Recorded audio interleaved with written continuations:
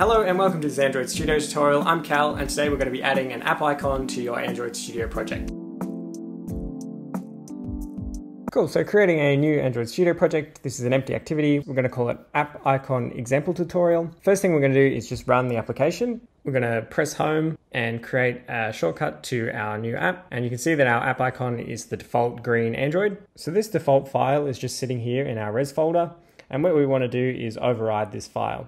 So what we're going to do is say file, new image asset, and you can see we've got the name here, IC Launcher is the default, and an icon with that name already exists. So we're going to override this file. Um, I've just got my icon selected here on my desktop, and I'm just going to select that, and then you can scale it, so just making that a little bit smaller.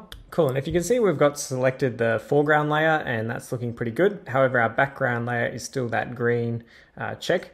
So what we're going to do is select on our background layer. I'm going to change it from an image to being a color and I'm going to use the eyedropper tool to just select this sort of dark gray. So that's looking pretty good. I'm pretty happy with that now. So what we're going to do is just hit next and finish and that should override all of the files. And for some reason, um, I think it had a different, slightly different file name. You can see we've got our IC launcher now and we just want to remove these IC launcher.webp and the same thing in our round. Cool, so that's really it. We can build and run this now and you can see that our icon is now our new icon. Cool, so next what we're gonna do is quickly head into the manifest and see what is actually happening. So this is where you define your icon as well as your round icon.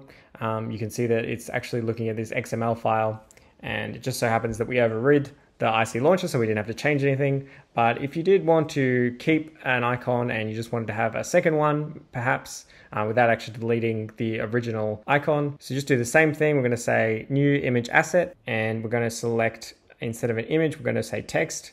Uh, the text I'm going to give it CWC, so code with Cal, and the name we're going to call this text icon, making sure that it's all lowercase, and just going to leave it as that green color. So we're just going to hit finish. So to make our application point at our new text icon, what we need to do is just change our icon as well as our round icon to be from our IC launcher to our new text icon. And if we build and run this again, you can see that we've now got our green icon with our text. Cool, so that's how you change an app icon in Android Studio. Uh, thanks for watching and I'll catch you in the next one.